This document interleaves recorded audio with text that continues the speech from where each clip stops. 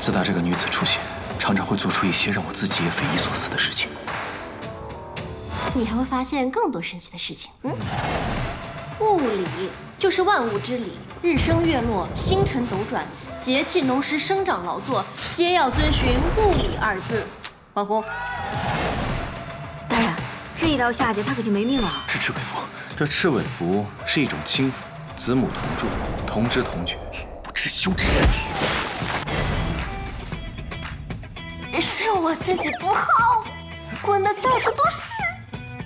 天，李大人，扎在你手，疼在我心呢，我受够了。你以为你谁啊？来没？